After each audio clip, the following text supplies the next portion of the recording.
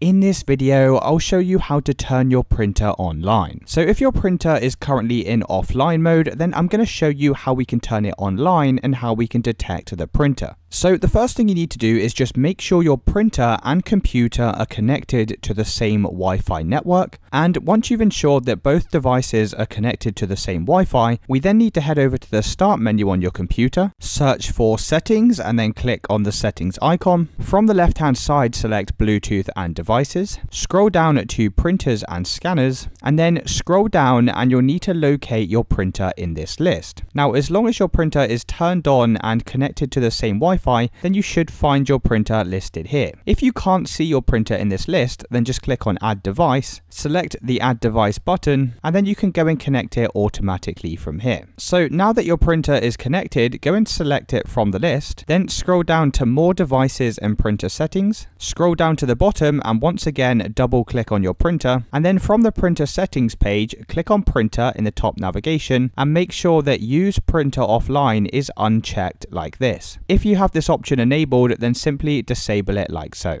Now once you've done that you can just come back over to the previous menu and once again locate your printer from this list of devices and then in the top right hand side make sure set as default is selected like this and then you can go to check to see if that's now fixed your printer issue. If it's still not working, the next thing to do is head over to your start menu, search for services, and then click on the services window. In this list of services, we need to scroll down until you see the print spooler service. So once you've found print spooler, which is this one here, just simply double click on it, make sure the startup type is set to automatic, and make sure the service status is set to running like this, and then just press apply and OK. Then what we're going to do is right click on the print spooler and just press restart. Now once again, you can check to see if that solved your issue. If it's still not working, head back over to the settings page, click back on the Bluetooth and devices, scroll down and click on printers and scanners, and then once again, select your printer from the list of devices. Now this time, we're just gonna click the remove button in the top right hand side, and you'll now need to go and re-add your printer to this list. You can do that by clicking on add device, and as long as both devices are connected to the same network, then it should automatically detect here. If your printer isn't displayed in this list, then just click on show Wi-Fi direct printers. And as you can see now, it will pop up with both of the different printers. So we can simply click on add device next to the one that we want to add. And it would now attempt to connect to this printer. So it's as simple as that guys. If you did find this video helpful, then let me know in the comments and I'll see you in the next one.